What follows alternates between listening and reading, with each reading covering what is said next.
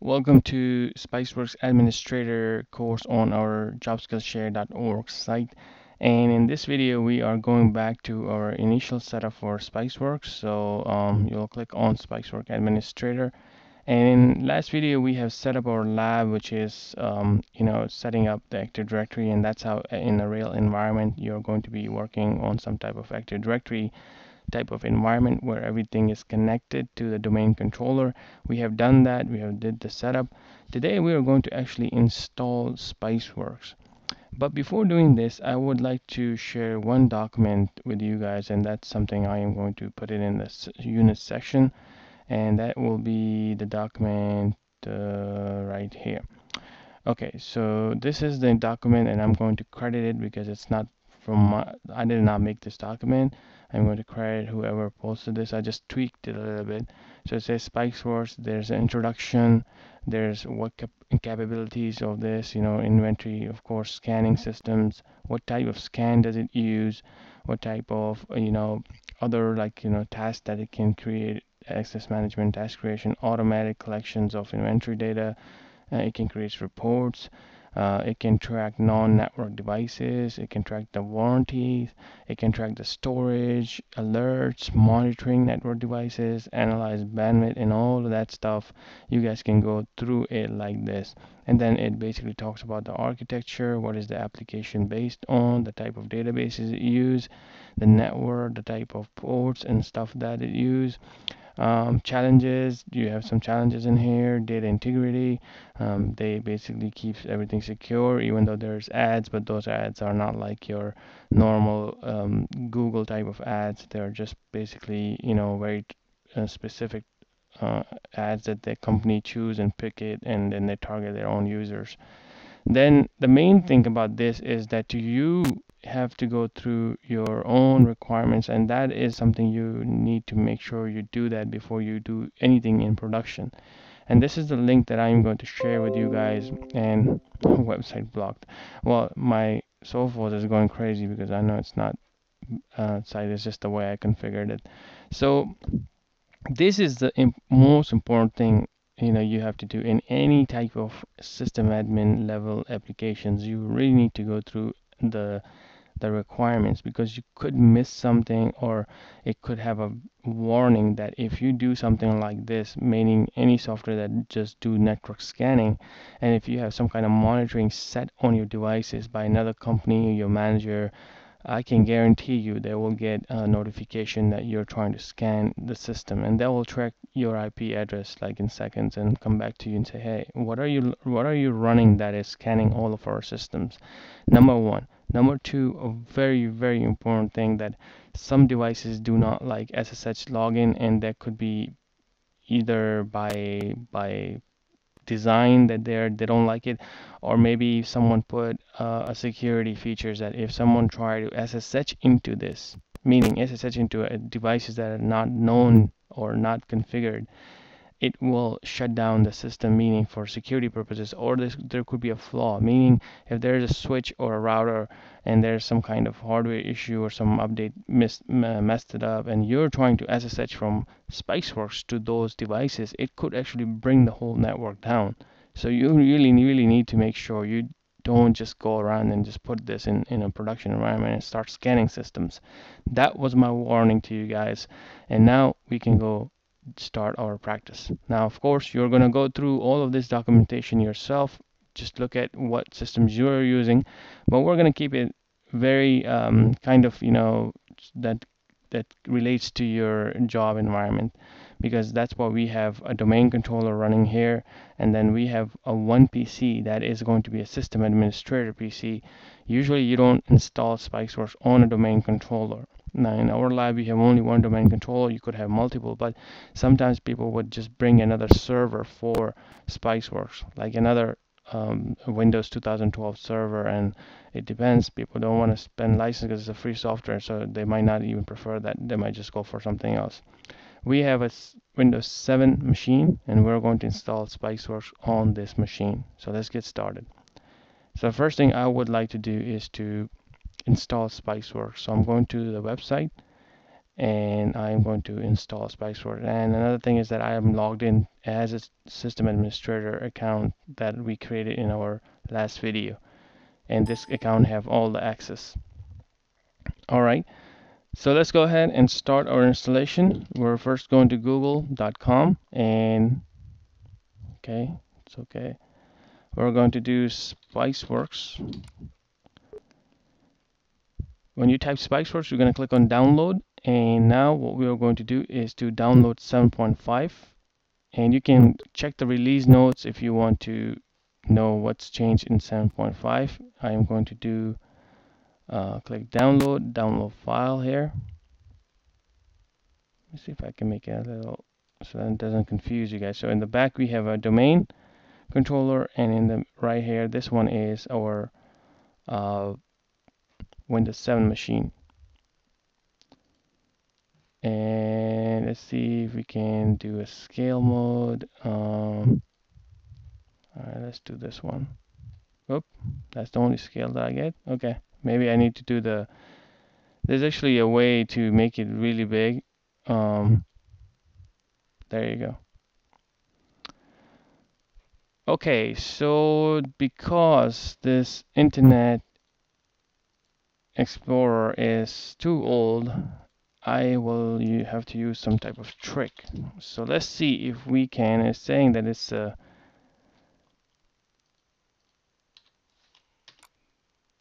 uh, okay both are not going through because of my network um okay. Let's play around with this level. This is a good troubleshooting right here. How do I download another browser? Okay let's try this Firefox firefox.org.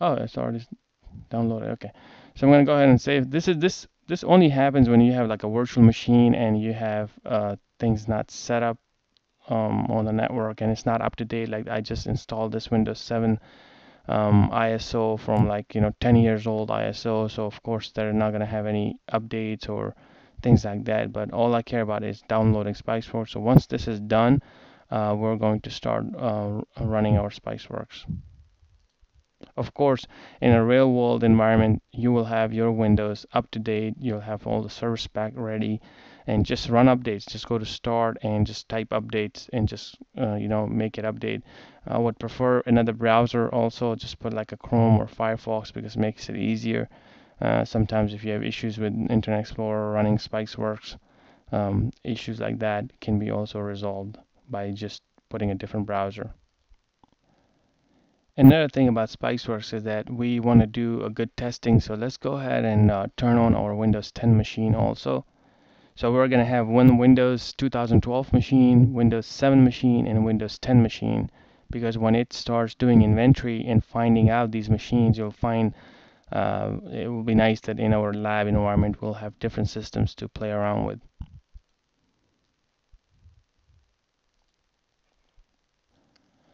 Alright, our installation is done. So what we're going to do is run Spiceworks and click yes.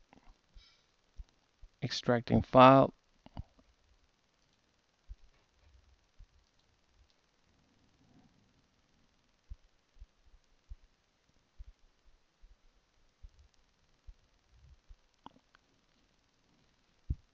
all right you can use whatever port you want to use uh, I'm gonna keep it 80 so sometimes if you have another web browser uh, web server running on your system and they're using 80 then you need to make sure you change it from 80 to a different uh, port um, they usually have default ports another one is like 9675 something like that uh, you can search about that what port is the best port in the search um, so you guys can use also that and we'll find that out later on in this course also.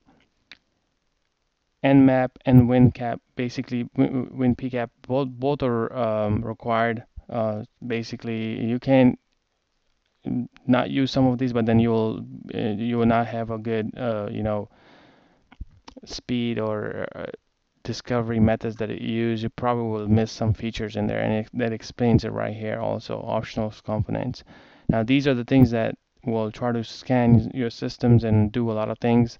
So make sure that it, this is being approved by your managers or whoever's uh, you know in charge of your network. So we're going to click next and click install. So right now Spiceworks is getting installed. And while Spiceworks is getting installed, what you should do is to you should go to your CMD, um, go to start, type CMD, and then type ipconfig, and then you should see what network you're on. So then you can do your testing. So remember we did 10.0.2.15. This is the network that we are going to scan. Now in most companies in a real world environment, you probably will have something like 10.0.2.15 uh, and then then you'll probably have 10.0.1 or then 10.0.3 you'll have a lot of like that you know or 172.17 whatever 172.16 dot whatever. So you'll probably have different uh, subnets and networks going on like this. And this is where you need, just need to know that stuff and then you can just put it on like you know some kind of word document and then you can add it to your scanning all right, so we're done. We're to click on continue and our Spiceworks is actually installed. That's how easy it is to install Spiceworks. Okay, so there you go. Our Spiceworks is getting started right now. It's heating up. And while that's happening, I wanted to actually see if I can get to a different browser, but that's fine. We can just play around with this for now. And I will get uh, another browser just to make it quicker. I know this is old, so if I go to like about, yeah, that is old. Look at that, Internet Explorer 8. We're gonna definitely have some issues. But let's see, let it run for now, and we're gonna get uh, another browser, either by like you know some type of portable browser, or uh, I need to just put an uh, installer in there because I'm having trouble getting to these uh, HTTPS sites on this old machine, virtual machine.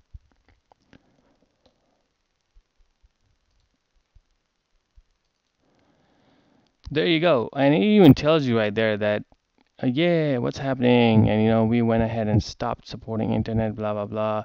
And then there you go. You, you have your message right there. I mean, it's good that it I kind of came across this because a lot of people, if they were doing this and they said they didn't get this message, you're going to have a lot of issues running Spiceworks. So they gave you the message right there, which is pretty cool.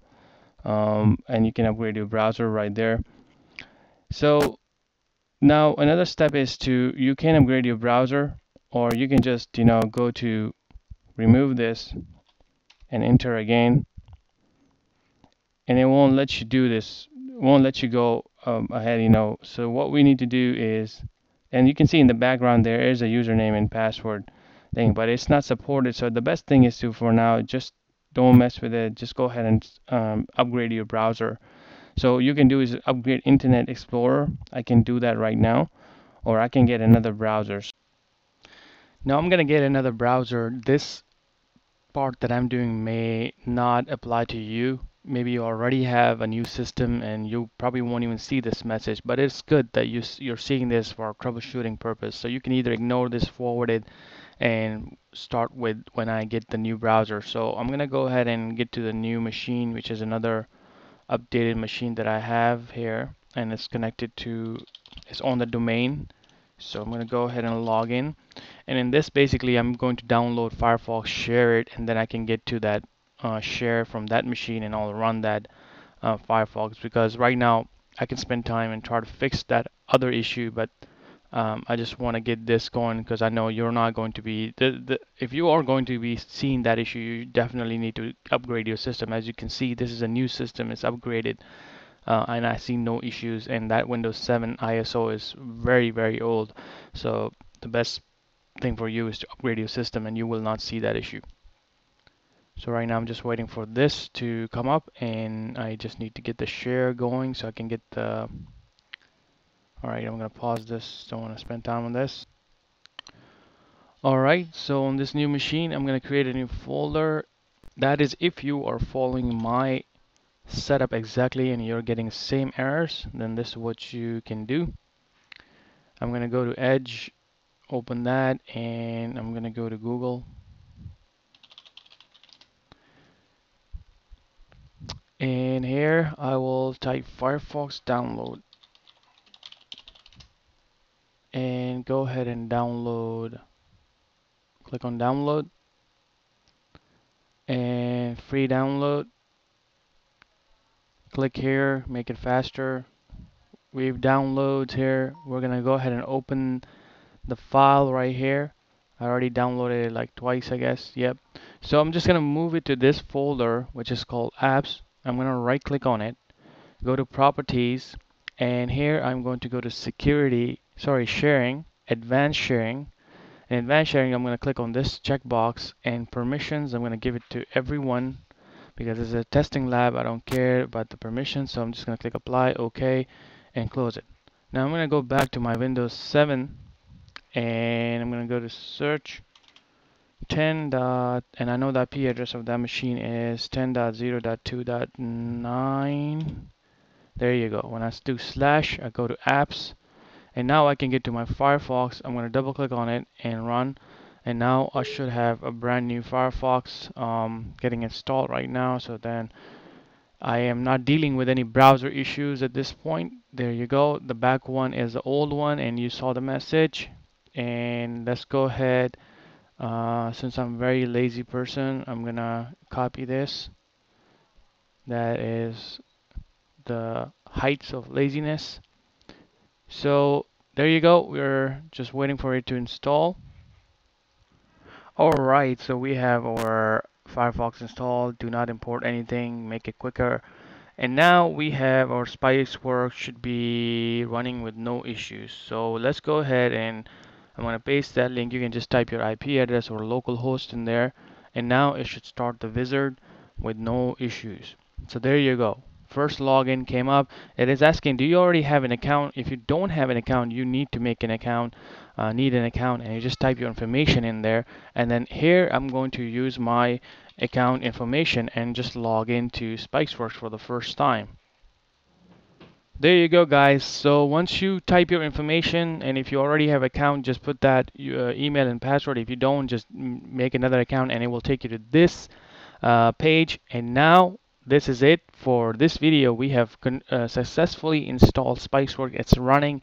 Now the next videos we are going to jump into specific sections for Spiceworks. For example let me just show you guys what we are going to cover next time. Like for example we have done the setup everything done. In next video we are going to actually do uh, you know that IP addresses. We are going to put it in the, the settings and then we will scan our system and that's inventory. So it will basically go out and find computers devices switches whatever you have and then it will tell you oh we found this. Now of course, you need to be a system administrator to do this. So that's what we're going to discuss next time. Thank you for watching this video. Make sure you be a part of this jobskillshare.org platform and also like this video.